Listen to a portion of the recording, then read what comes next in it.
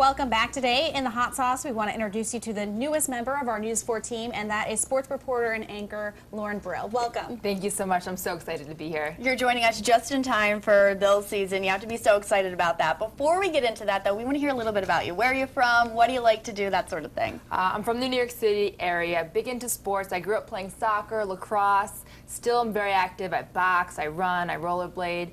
Um, that's pretty much my life. I work and I work out. I think I heard you say last night on the news that um, you'll throw the punches, but you won't take any, right? Or, yes, the gym I go to, they let me hit the men that box, and they practice defense, and I practice offense. I think it's a pretty good deal. What a How'd good deal. work that Absolutely. But it's one of the best workouts I've ever done in boxing in terms of toning up your body and feeling really strong and empowered. It's one of my favorite workouts. Now, Very of cool. course, moving to Buffalo, Western New York, we have to talk about food. I know you've only been here for a short time, but have you tried anything that, yet that you've loved? Have you had, uh, you know, any of the famous chicken wings at any of the big places here? I have not. I've only been to one restaurant. I went to Mother's and I had um, I had fish. Nice. Always a fun, that's kind of a staple place. Yeah. Mother's there. well, you have lots of places to try that, that's for sure. Absolutely. You'll have to give me a list because I need to know.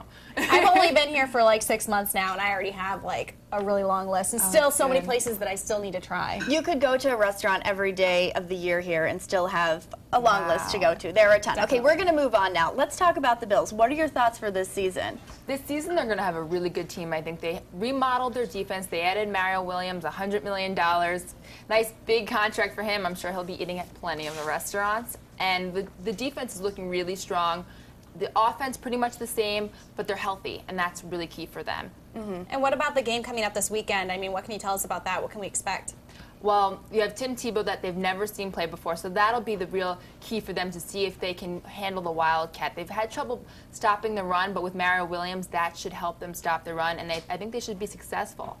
What is your favorite sport to report on? What boxing?